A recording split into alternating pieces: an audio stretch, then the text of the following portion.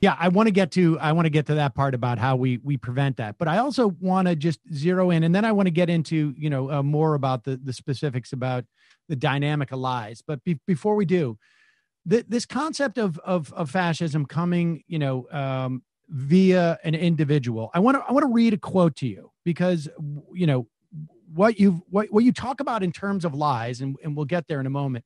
Um, th- this quote stuck with me. Uh, you know, in part because uh, the journalist who who um, who who who was expressed to uh, had imparted it to me years ago. But um, it is um, he he was talking to an aide of the president, uh, and he was told that uh, the journalist was told that guys like me, not me personally, but this is the journalist.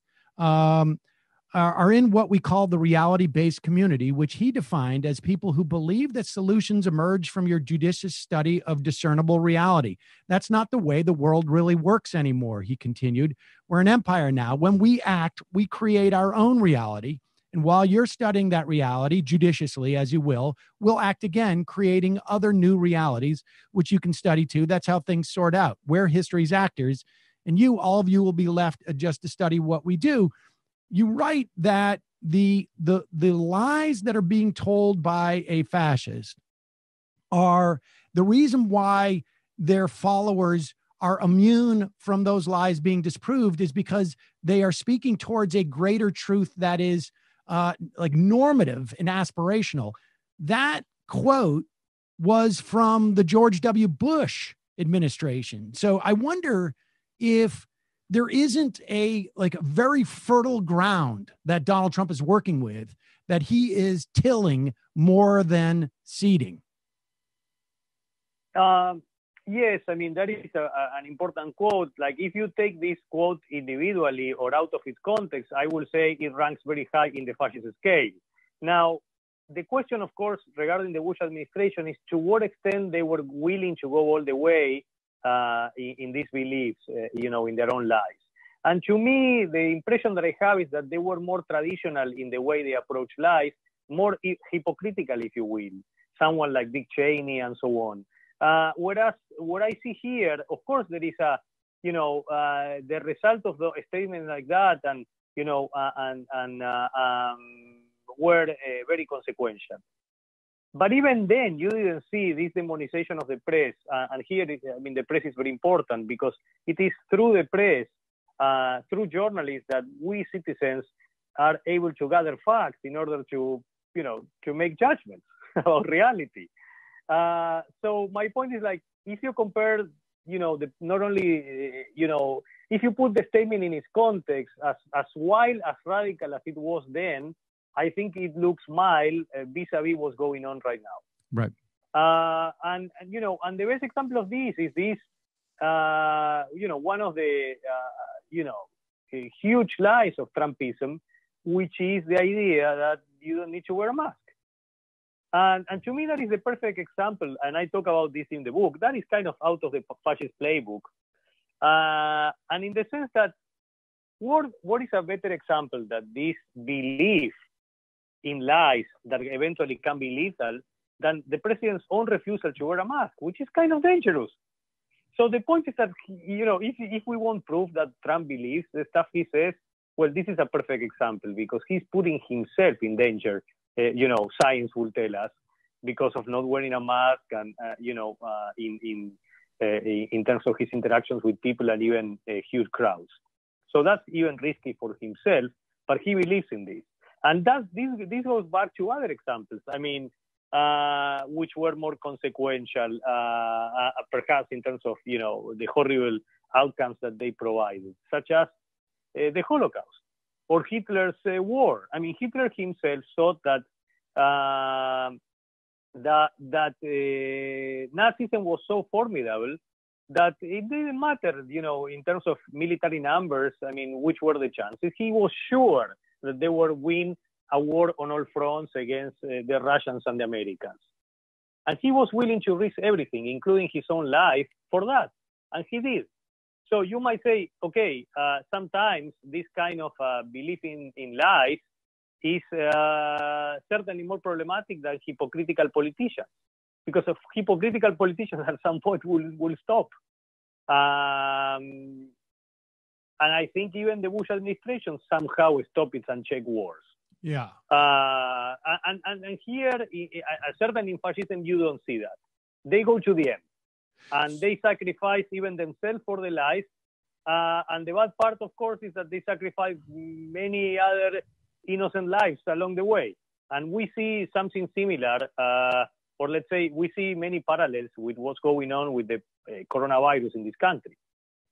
So, uh, so uh, the lies of a Bush administration are are tactical on some level. Although, you know, that quote to me sounds like, um, you know, there's a there's a distinct um, rejection of, you know, uh, material, intangible reality.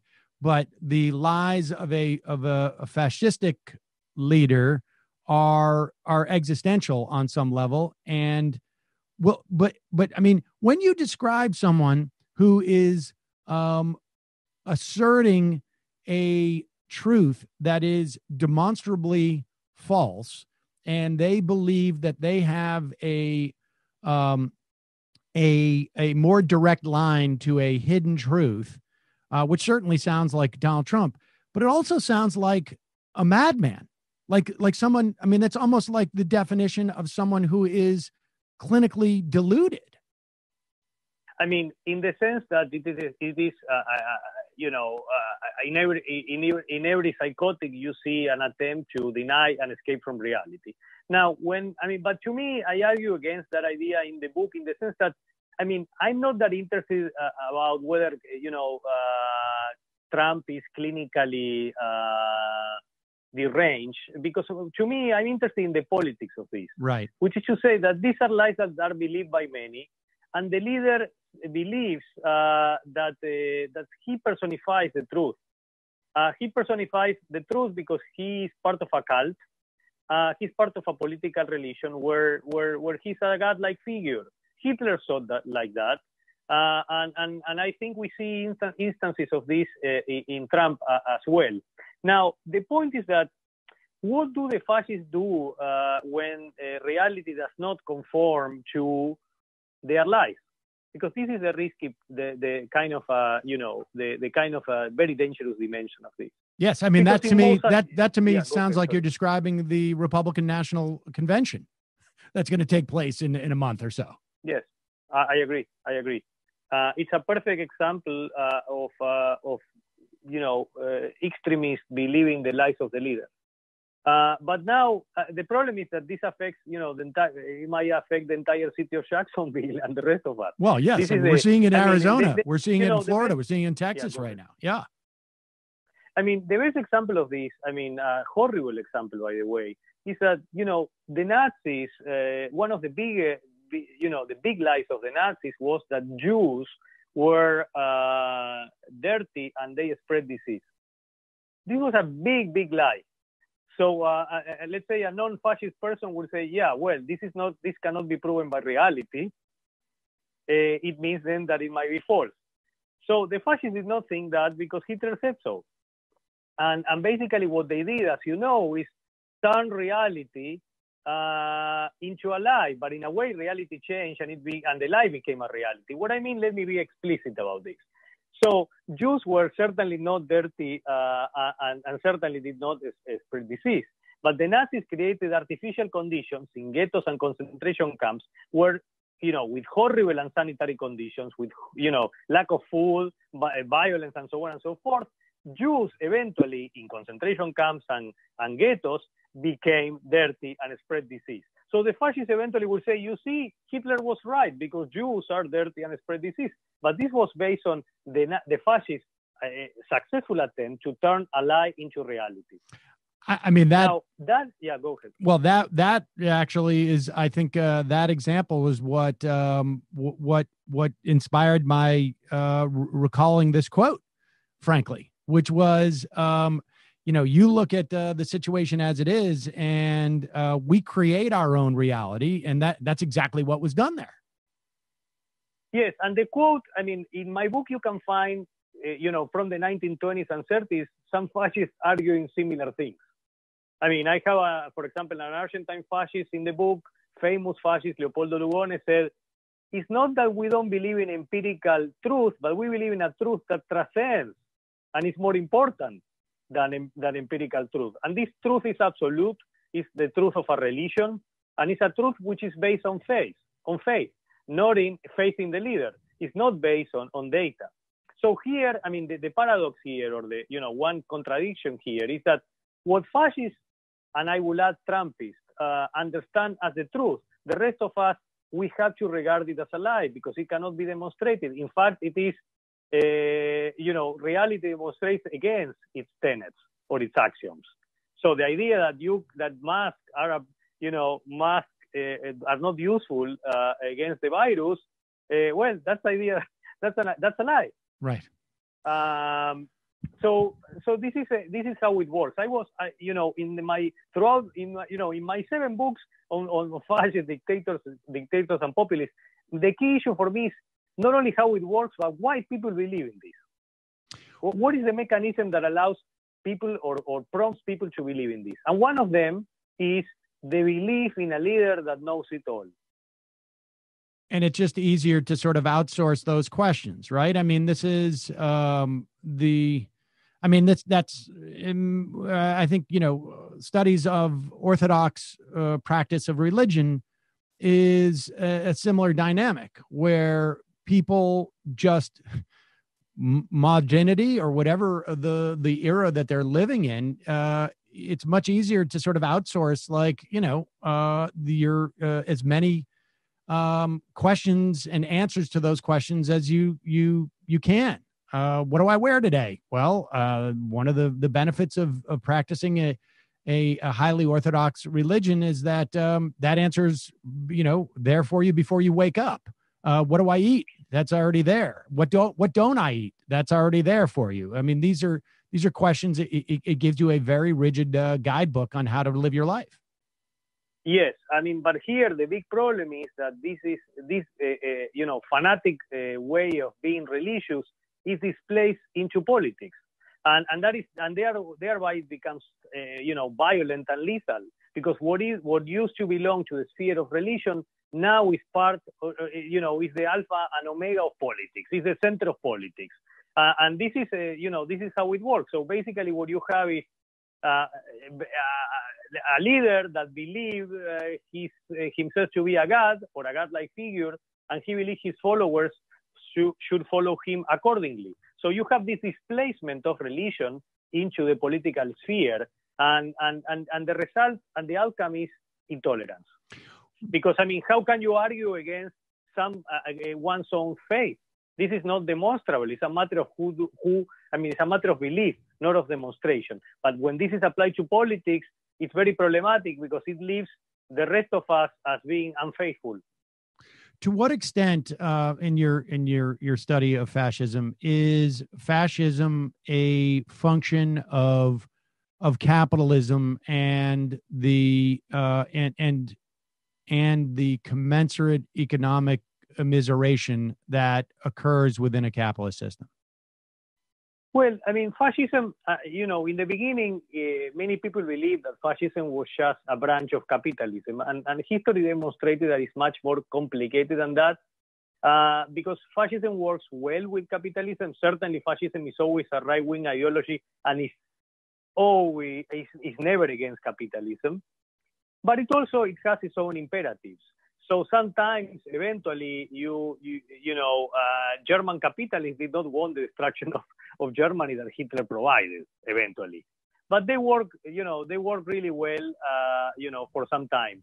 So the big mistake, I think, uh, you know, by conservatives and uh, uh, uh, and even capitalists is to believe that they can, you know, they can ride the horse. That in a way, that is the wrong, you know, that is that is mistaken.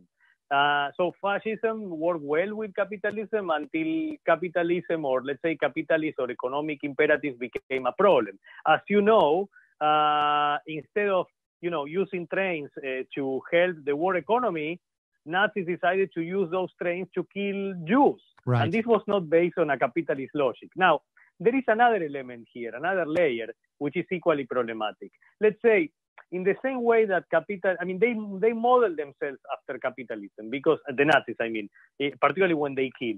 Uh, but they changed, they reformulated the entire thing because if in Fordism or, or Taylorism, what you had, you know, in a, in, in a capitalist line of production, uh, was uh, producing obviously uh, wealth and a product, what they, what the Nazis did is create a, a kind of line of production to produce death, not surplus value or not, not profit.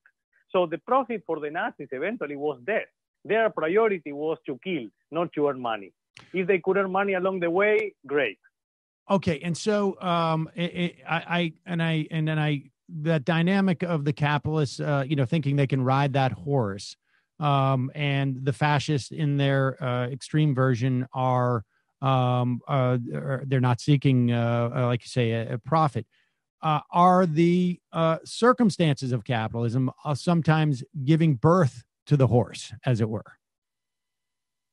Uh, you know, uh, a really uh, an excellent historian of fascism, Jeff, Geoff Eley, uh, also an historian of the left, he, he has a really good idea about this, that there are certain political and economic uh, situations that, at least in the 1920s, uh, they were uh, fascist producing situations, let's say. Obviously, if you have a, you know, a political crisis coupled with an economic crisis, you had this, uh, let's say you have an entry point or a pathway for this kind of magical magical solutions to very complex problems. So in a way, uh, uh, fascism thrives on crisis, certainly.